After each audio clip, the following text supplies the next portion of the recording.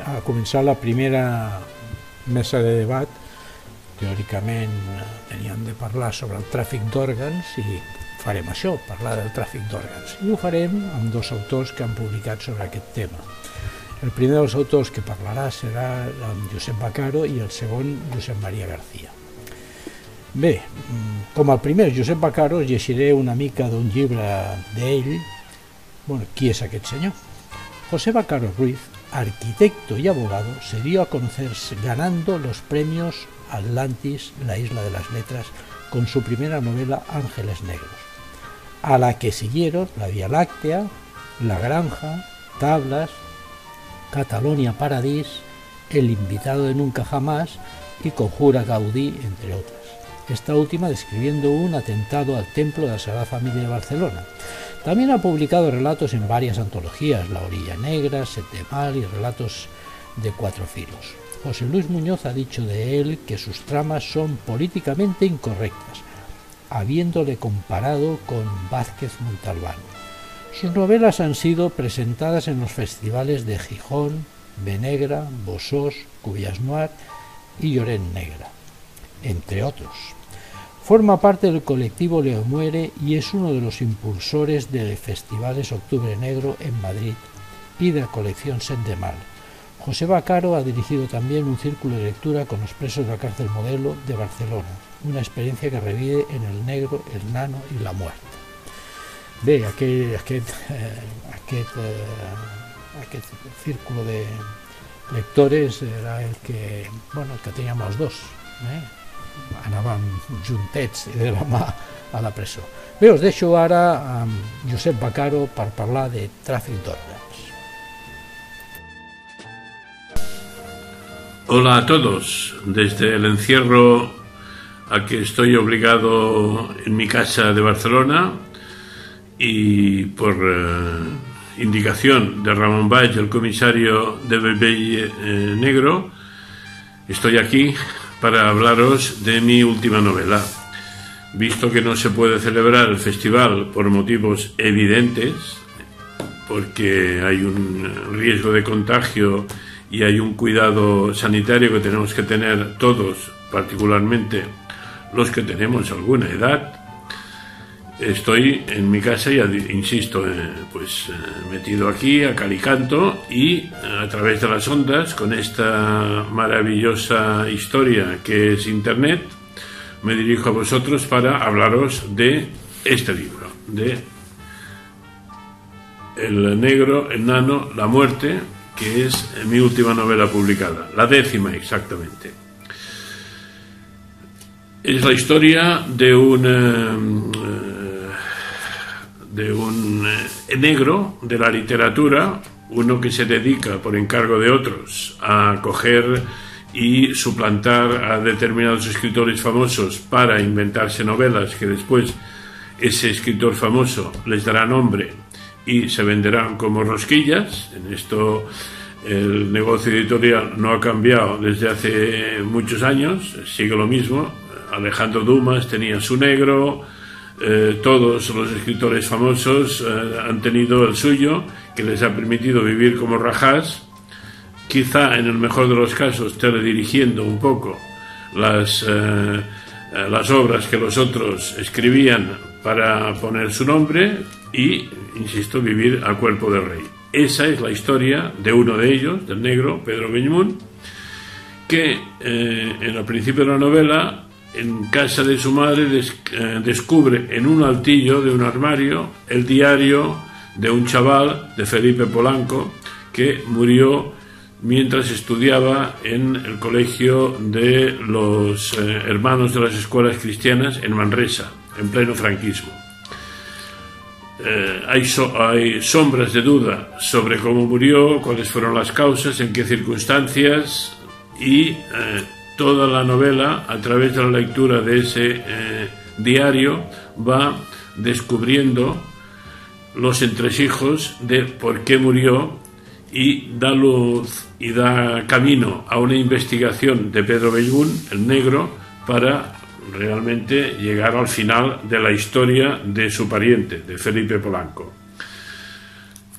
se describe en ese diario pues cómo era de represión de represiva la mm, educación en eh, los colegios religiosos de la época franquista en donde pues eh, desde la obligación absoluta de comulgar, confesar, ir a misa, etcétera, etcétera, de cumplir los siete mandamientos eh, de la Iglesia, también existía una represión absoluta sobre el sexo, sobre lo que significaba el despertar a la edad que tenía Pedro uh, y a la edad que tenía en su caso Felipe Polanco, el despertar al sexo y cómo ese despertar al sexo pues estaba reprimido por una educación y por unas enseñanzas que lo que eh, tenían como norte y como orientación fundamental era la castidad, sobre todo la castidad. Una cosa, la pureza, entendida como ausencia de sexo.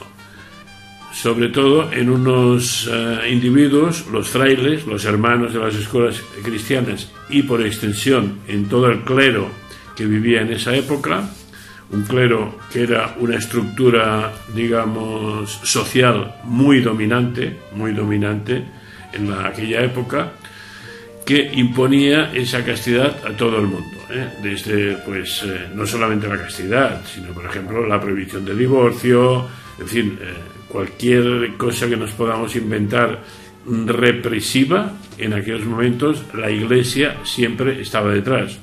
Una Iglesia que sus propios miembros eh, debían cumplir esa castidad porque habían hecho el voto de castidad perpetua, un voto que es un juramento sacrosanto. Excuso decir que la mayoría no lo cumplía.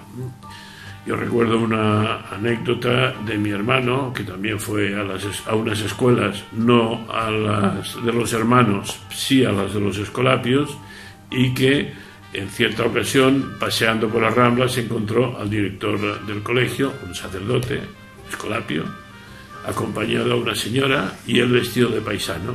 Fue a besarle la mano en señal de respeto hacia lo que él sabía que era un cura y el individuo salió corriendo y aún corre ahora. ¿eh? Es anécdotas eh, que ocurrían en aquella época. Entonces, eh, Pedro Bitmun, en Mi Negro, que está la novela narrada en primera persona, es como si me hubiera ocurrido a mí, y esa narración en primera persona tiene su justificación porque la autobiografía, el yo personal en el, narrador es una de las formas más potentes de la escritura, la más cercana, la que está más eh, próxima al lector, porque el lector, el mensaje que recibe es que aquel que ha escrito le ha ocurrido a él. Entonces a mí me interesaba que en este caso es la única novela supuestamente autobiográfica que he hecho, a mí me interesaba que ese mensaje que quería yo lanzar de represión, de, dureza, digamos, en contra de los derechos de la persona, de una educación mojigata, una educación hipócrita, ese mensaje tuviera la mayor fuerza posible. Y la primera persona en el narrador me lo permitía conseguir. Aparte de la trama esta principal, de Felipe Polanco, del chaval, también eh, explico las eh, aventuras o las vivencias que tiene ese negro, Pedro Bellmunt, en unas eh, visitas que hace a la cárcel modelo de Barcelona, que son reflejo de las visitas a la cárcel modelo que hemos hecho pasados años Ramón Valls, el comisario de Bellbey y yo, y que allí teníamos un círculo de lectura nos explicaban los presos, en fin, lo que no está escrito referente a lo que opinaban, a sus delitos, a sus eh, eh, circunstancias de por qué estaban en la, en la prisión, a su historia, y muchas veces hay que tratar a la gente con un cierto conocimiento de causa y una cierta piedad o compasión, porque en función de la educación que haya tenido, del extracto social del que procedan, de las malas compañías, que se decía antes, que existen esas malas compañías, pues también han podido llegar al mundo del delito, no diré sin ninguna culpa por su parte, pero como mínimo con matizaciones importantes en esa maldad. Entonces, ahí describo pues historias eh, de, terribles de gente que estaba allí y que al mismo tiempo en ocasiones también nos mostraron un lado humano muy potente Ramón Valls y yo en su momento fuimos una especie de jurado de un concurso literario de poesías que se celebraba en la cárcel en el 23 de abril, el día de San Jordi. Y os puedo decir que las poesías que recibíamos eran unas poesías en donde la madre, la añoranza, la niñez, eh, la ausencia de la persona amada estaban presentes con una fuerza terrible. Lo cual quiero deciros que incluso en los muros de la prisión hay no solamente vida, sino hay sentimiento, hay, hay nostalgia, hay una serie de, eh, de actitudes que a veces parece que no pudieran tener acogimiento o no pudieran ser aptas para estar precisamente encerradas, encerradas con condenas de muchas veces pues decenas de años de cárcel. Esa es otra trama también que se acompaña a la del Felipe Polanco, a la del chaval que poco a poco en la lectura de su diario que acompaña toda la novela va describiendo pues eh, por qué eh, actuaba como actuaba, qué presiones tenía de los frailes, etcétera, etcétera. También hay una, una, mirada, una visita, digamos, lejana, pero al mismo tiempo conocedora del mundo editorial, un mundo editorial en donde la figura del negro ha estado siempre presente, siempre, desde el tiempo inmemorial, pues eh, han habido negros y, y por lo tanto hay ahí un punto de picaresca mezclado con lo que se supone que es la cultura de los libros y la cultura de la novela y la cultura de no sé qué, que también digamos, aporta a la novela una visión, yo diría que un poco cruel, pero al mismo tiempo real, de lo que es la vida. La vida no es todo blanco y negro. Los tonos de grises o los tonos de negro, como a mí me gusta decir eh, cuando hablo de la novela negra, pues siempre están ahí y están presentes. Y alguien como yo, que lleva pues bastantes años en el mundo editorial que ha publicado con varios editores, etcétera, etcétera, pues puedo opinar o puedo verter en, ese libro eh, circunstancias o anécdotas a veces curiosas, a veces humorísticas, pero que yo creo que al lector también le van a interesar.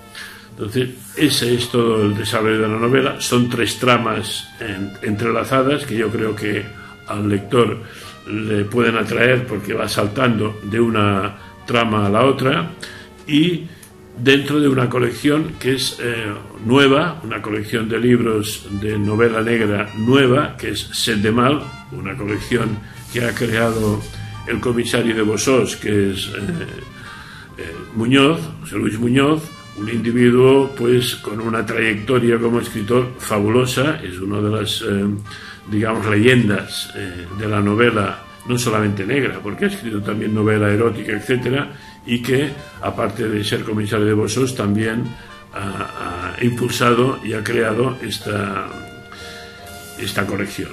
Entonces, mm, veréis eh, en esa historia, tanto de Felipe Polanco como de Pedro Beimun, cómo era el mundo y cómo era la sociedad de aquellos años 60, del pasado siglo, cómo se movía, las tramas y las, las encrucijadas que planteaba y el poder tremendo, tremendo de la Iglesia en aquellos momentos, un poder que llegaba a todos los rincones de la, de la sociedad, que comprimía absolutamente al individuo y que le obligaba pues a, pues eso, a, acomodar su, eh, su posición, acomodar su vida a unos cánones que pensaban más en la otra vida que en esta.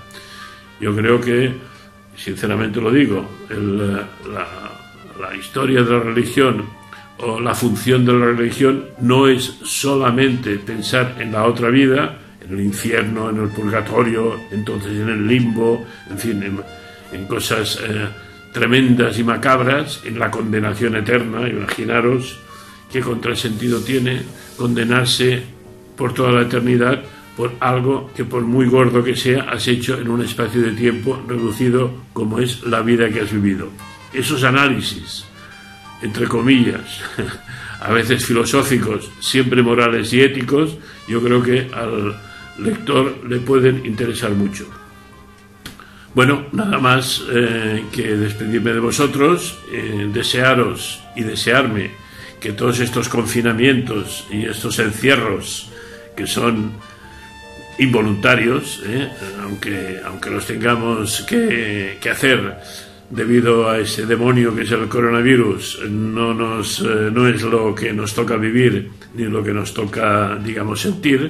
Queremos pasear, queremos tocarnos, queremos besarnos, queremos eh, la proximidad del otro. Esperemos que todo eso pase pronto y que se abra otra vez el mundo a lo que es realmente la vida, que es compañía, empatía, cercanía, proximidad y compartir sentimientos y vivencias. Que vaya bien y hasta la próxima. Adiós. Bé, és el moment que us presenti l'altre ponent sobre el tema de maldat tràfic d'òrgans que composa aquesta taula de debat.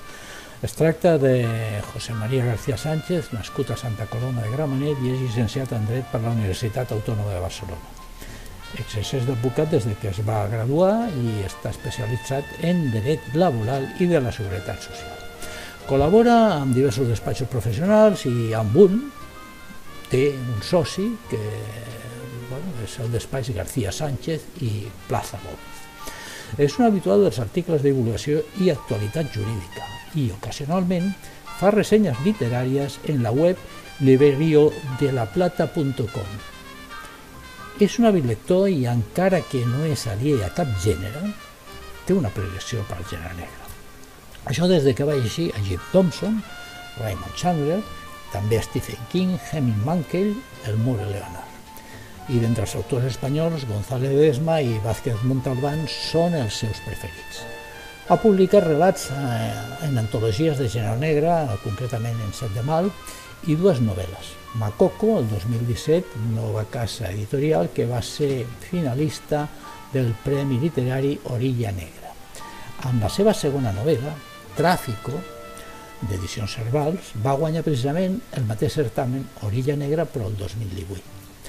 Eh, per veure una mica més sobre qui és aquest senyor José María García Sánchez, us llegiré la sinopsis del de, eh, seu llibre Tráfico. Tráfico es la peculiar historia de dos niños. Uno es un pequeño burgués enfermo de corazón, el otro suburbial y sano, cuyas vidas se cruzarán de manera absolutamente trágica para ellos y para todo su entorno. Sin ser un relato social y menos aún una denuncia, la novela presenta dos ambientes tan cercanos y tan distantes a la vez. El burgués, pretencioso, falso y ambicioso, donde las apariencias lo son todo, frente al marginal, donde sobrevivir cuesta un esfuerzo titánico en un ambiente adverso de pobreza y violencia. Estos dos mundos forjan de manera muy distinta el carácter de quienes viven en la parte alta de Barcelona y los que lo hacen en los barrios marginales como la mina. Iguales ni al nacer, menos al vivir y ni siquiera para morir. Veos de hecho a José María García.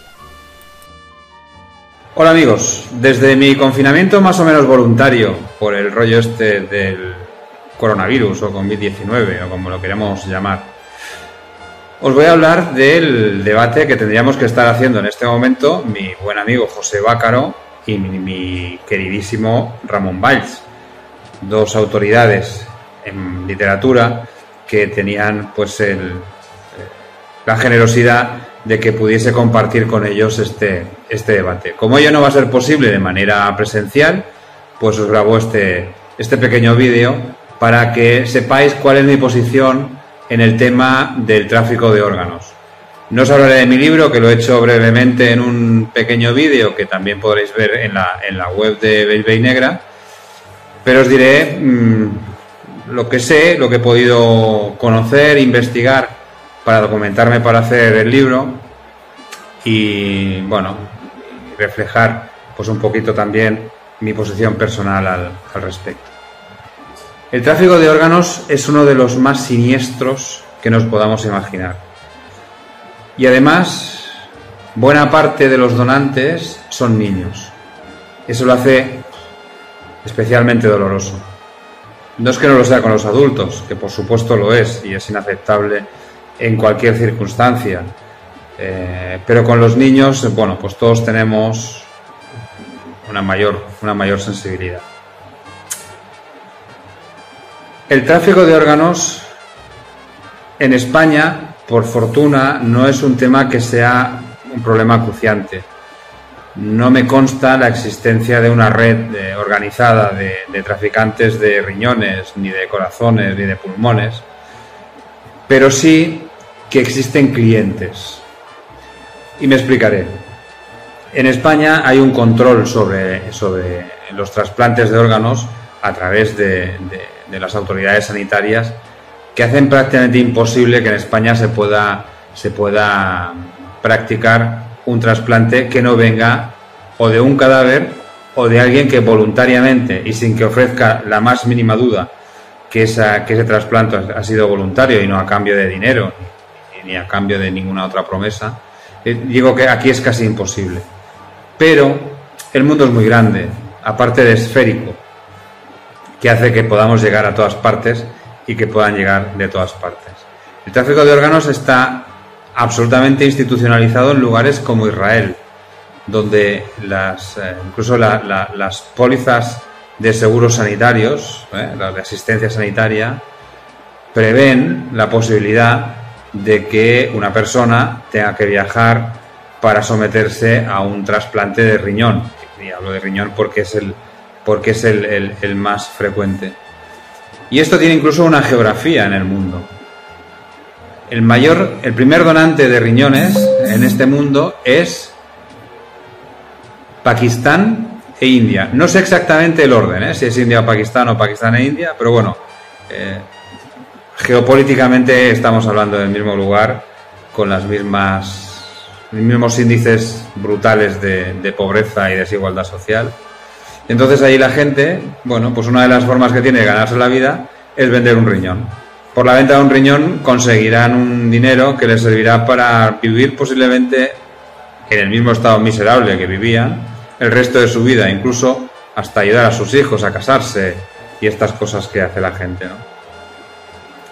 Y entonces, eh, y el lugar donde se practican los trasplantes suele ser Sudáfrica porque en Sudáfrica la legislación es muy tolerante, allí no te van a preguntar, van dos personas, una entra con dos riñones y la otra con dos riñones en mal estado y se irá uno con un riñón en buen estado y el otro con el que le quedaba.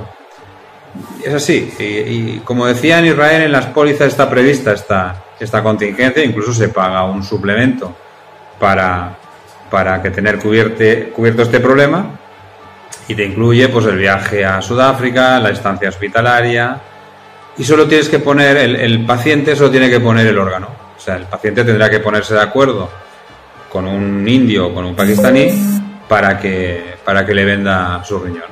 Se irán a, a Sudáfrica, se operarán, pasarán el posoperatorio, uno se volverá a Israel y el otro se volverá a Pakistán. Puedes imaginar que las diferencias en el tratamiento son enormes al pakistaní lo tratarán pues lo justo para que no se muera y el otro, bueno, pues tendrá un tratamiento mucho, mucho, mucho más acurado. Eso por un lado. ¿eh? El tráfico de órganos tiene, tiene otras, otras vertientes, no menos siniestras. ¿Os acordáis que en el norte de México había una sospechosa desaparición de mujeres? Pues bien, estas mujeres que nunca se encontraron ni siquiera los cadáveres, estaban destinadas al tráfico de órganos en Estados Unidos, en prestigiosas clínicas dotadas del más alto nivel tecnológico, pasaban los órganos de estas mujeres a las personas que los necesitaban. Y nos preguntaréis, ¿y por qué mujeres? Bueno, pues porque en México los hombres tienen muy malas costumbres, son bebedores, son eh, fumadores, son, bueno, en general la gente pues tiene unos hábitos tóxicos bastante, bastante duros y las mujeres son más cuidadosas de su cuerpo. Total, que la calidad de los órganos de las mujeres es mucho mejor que la calidad de los órganos de los hombres, aparte de que es más fácil cazarlas. Esto ha hecho que, que bueno, pues que haya un tráfico, ya digo, absolutamente siniestro de estas, ya no de las mujeres, porque realmente es que ni siquiera les interesa nada más que aquello que, que van a vender, sus corazones, sus pulmones, sus riñones, que están en buen estado, que son sanos y saludables y que acabarán en cualquier cuerpo de cualquier norteamericano que lo necesita. Y por un precio absolutamente astronómico. Claro, el donante ha pagado el precio más alto que hay, que es el de su vida. El donatario habrá pagado pues un montón de miles de dólares para que eso funcione así.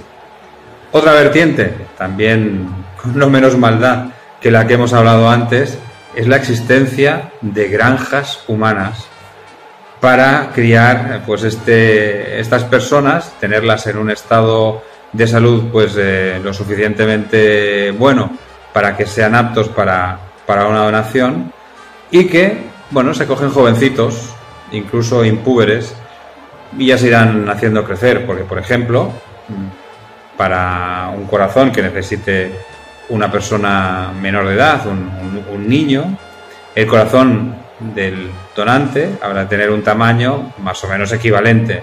O sea que un niño de 12 años necesitará pues un corazón que también tenga, por ejemplo, 12 años. Esto hace que, bueno, que interese tener granjas donde, donde se tienen a, estas criaturas creciendo por si en algún momento hace falta, porque el negocio ya con los niños, pues podéis imaginar que todavía es, es mucho mayor.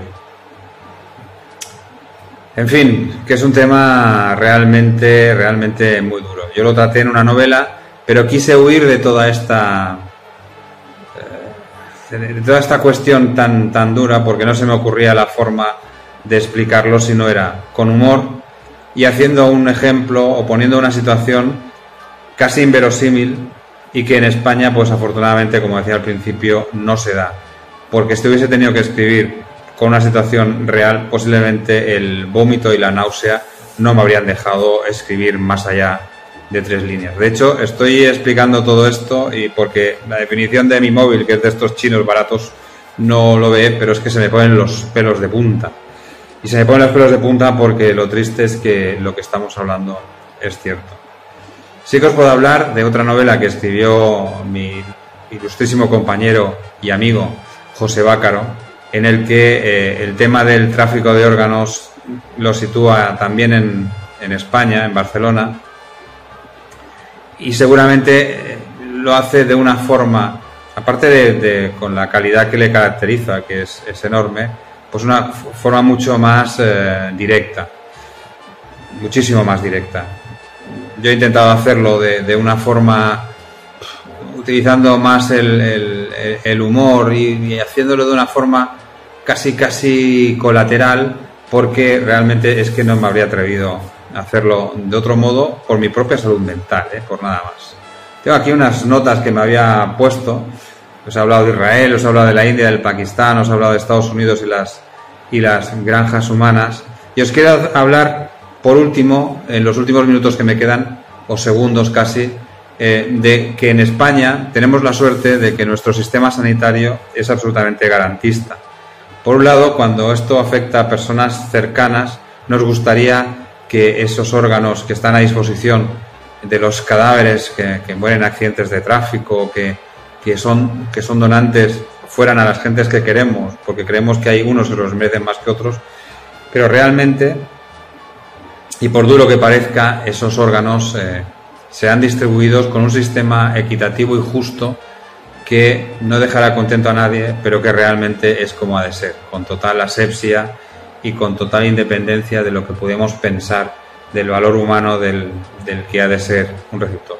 Bueno, no os quiero dar más la brasa con este tema, creo que se me ha acabado el tiempo y además eh, creo que los señores Ramón Valls y José Bácaros podrán explicar cosas eh, mucho más interesantes que, que lo que puedo hacer yo, que soy un humilde principiante escritor. Muchas gracias, nos vemos en Belvey Negra y que tengan un muy buen día. Hasta luego. Bé, fins aquí la primera mesa de debat eh, d'aquest vell vell negre virtual en el qual ja heu escoltat el Josep Bacaro i José María García. La meva qüestió és que en principi el senyor Josep Bacaro ha parlat de les, la maldat, però li tocava parlar de la maldat del tràfic d'òrgans i bueno, va canviar. Així que així es queda i passem a un altre acte del vell, vell negre virtual.